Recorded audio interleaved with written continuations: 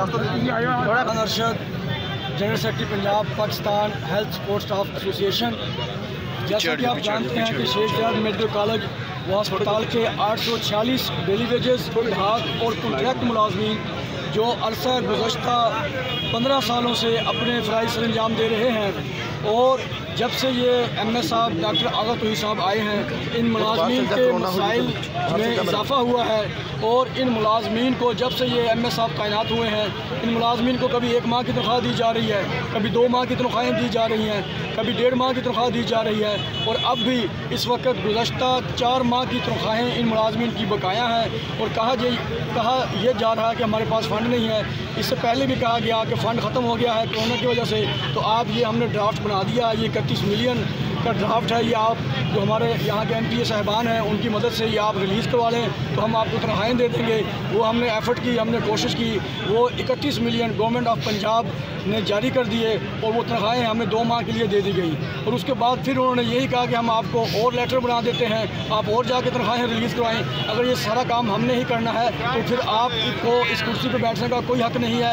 आपको इखलाकन ये कुर्सी छोड़ देनी चाहिए, क्योंकि आप ना अहल हैं, आप ये मामला सुलझाने में नाकाम रहे हैं। जैसा कि रात डिप्टी कमिश्नर साहब अली शहजाद साहब यहाँ पे आए थे और उनको ये हमने मसाइल बताए। पहले भी उन्होंने हमारे साथ बड़ा ताउन किया है और उन्हीं की कोशिश से ये जो इकतीस मिलियन हमें मंजूर हमारा हुआ था उन, उनका काफ़ी इसमें किरदार है। और रात वो ये कह के गए हैं बरमला मीडिया के सामने कि ये उनकी नाकिस मैनेजमेंट का रद्द अमल है कि आप लोग आज रोडों पर हैं। तो मैं इसका एक्शन लेता हूँ।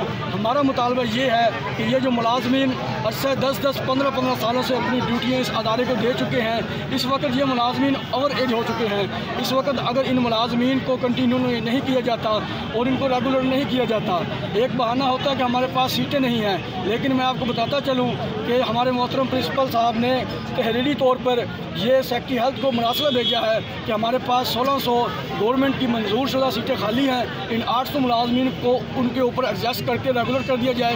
ये अथॉरिटी सेक्रेटरी हेल्थ की है। तो ये मरासला उन्होंने भेजा।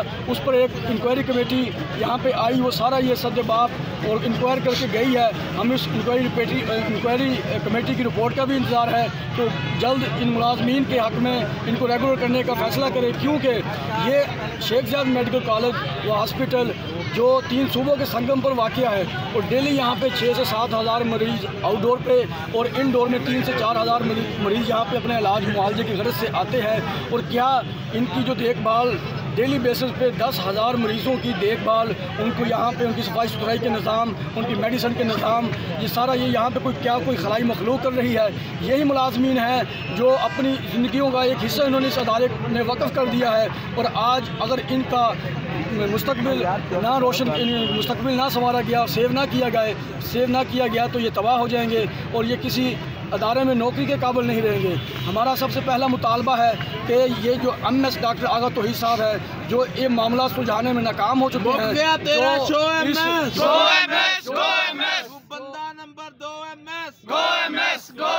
जो जिनको ना तजर्बेकारी है जहाँ पे भी गए हैं एक गंदी मिसाल छोड़ के आए हैं इनको एहतजाजन मुस्तफ़ी हो जाना चाहिए था जिनकी वजह से पूरा रहीमियार खान शहर बंद है। तरंडे तक ये ट्रॉली है जो गन्ने की, ये खड़ी हुई हैं। पूरी तरफ़ से ट्रैफ़िक का निज़ाम दरम बरम हो गया है कि इनको फौरी तौर पर यहाँ से ट्रांसफ़र किया जाए। और दूसरा मुतालबा हमारा है कि जो गुजशत पाँच माह की हमारी तनख्वाहें पेंडिंग है, वो हमारे जनाब chairman, board of management, doctor Tanveer Saleem Bajwa साहब, कि वो फौरी तौर पर पी एल ए फंड से इनकी तनख्वाहें जारी करें। और जो मुलाजमीन, ये अठा, आठ सौ छियालीस मुलाजमीन हैं, इनको उन सीटों पर एडजस्ट करके रेगुलर किया जाए। उस वक्त हम ये धरना ख़त्म करेंगे। उससे पीछे हम एक इंच में नहीं हटेंगे। यहाँ पे लाठी चार्ज करें यहाँ पे गोलियाँ बरसाएँ जो मर्ज़ी करें हम यहाँ से उठने वाले नहीं हैं। या हमारी यहाँ से लाशें उठा लें आप या हमारे मुतालबात पूरे कर दें। क्यों? कि हम ये कैसा पाकिस्तान है जहाँ पे पाँच महीनों से आपने इनकी रोज़ी रोटी बंद की हुई है ये भी जीते जागते इंसान हैं। जो सेहत का पेशा, एक मुकदस पेशा है, तमाम पेशों में आज तक फ़ौज ने स्ट्राइक नहीं की। फ़ौज को स्ट्राइक अलाउ नहीं है। क्यों? कि मुल्क ख़तरे में है।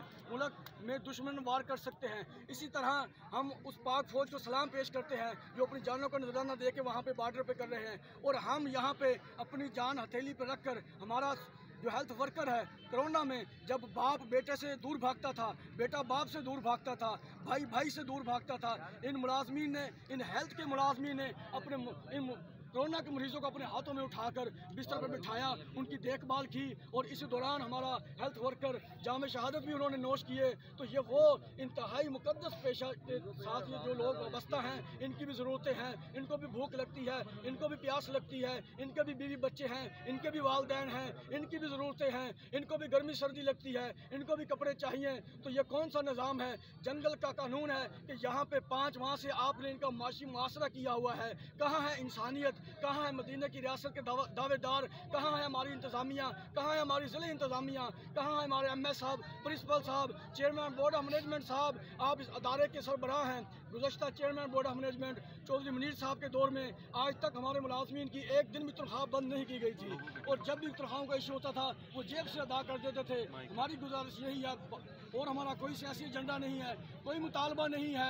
हम सिर्फ़ ये चाहते हैं कि इन मुलाजमीन की तनख्वाहें दी जाएँ, ताकि ये गरीब मुलाजमीन अपने घरों का चूल्हा जला सकें, अपने बच्चों का दूध दे सकें, अपने घर का राशन खरीद सकें, और जो मालक मकान किराएदार, उन्होंने मालक अपने मकान खाली करवा लिए हैं दर बदर लोग ठोकरे खा रहे हैं और दूध वालों ने अपना दूध देना बंद कर दिया है, किराने वाले ने राशन देना बंद कर दिया है। ये कहाँ पे जाएँ? ये सात कब्रस्तान है, या तो आप आए, हुकूमत आए, हमें फना करके, हमें मार के यहाँ दफना के हमारी यहाँ से नस्ल ही ख़त्म कर दें। ये इसलिए ये पाकिस्तान बना